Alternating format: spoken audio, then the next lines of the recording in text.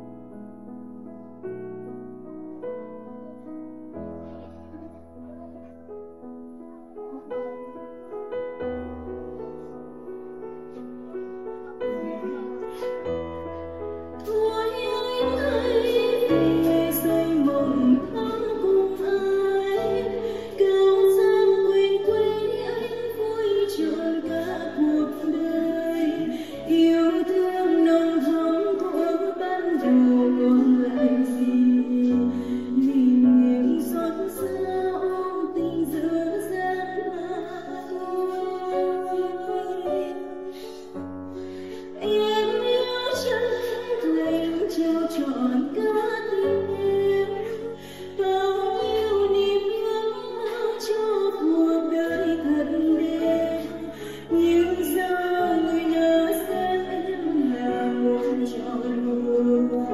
buồn gian dối nhau trong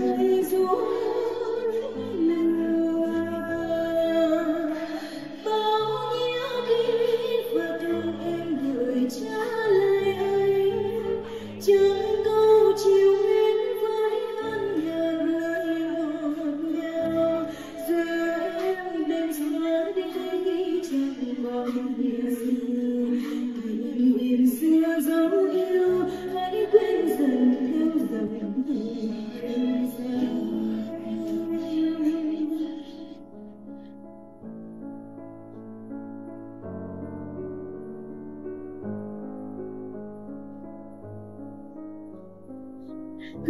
ゃあどうなるか。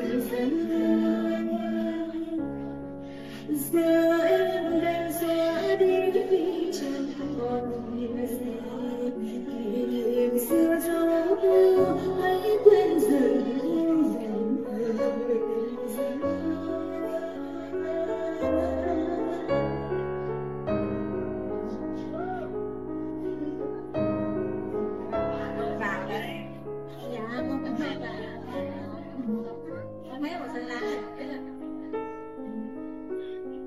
dạ